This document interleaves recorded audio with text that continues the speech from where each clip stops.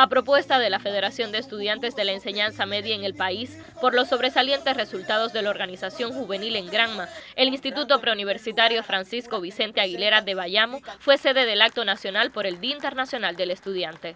La ocasión, que rinde honores a los sucesos de 1939 en Praga, donde un grupo de jóvenes checoslovacos protagonizaron una heroica resistencia en pos de liberar a su nación, fue propicia para reconocer tres estudiantes del IPBC Silberto Álvarez Aroche de la provincia, que se destacan por su participación en concursos de matemática, biología y química.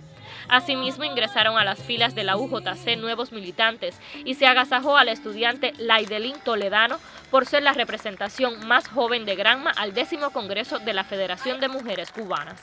En este territorio suroriental de Cuba, el 17 de noviembre, se celebra también con disímiles iniciativas. Se han venido desarrollando ya una jornada de actividades de corte político, cultural, recreativo, deportivo, pero se van a estar desarrollando otras como por ejemplo en el día de hoy el Carnaval Estudiantil en Niquero. Vamos a estar aportando a la economía granmense en una siembra masiva de caña.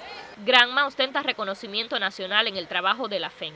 La organización realiza con calidad sus procesos. Fue la provincia del país el pasado año que más féminas aportó al servicio militar y los resultados en las pruebas de ingreso a la educación superior se deben también al quehacer juvenil de esta estructura.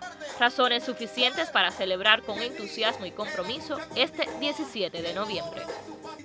Susel Domínguez, Sistema Informativo de la Televisión Cubana.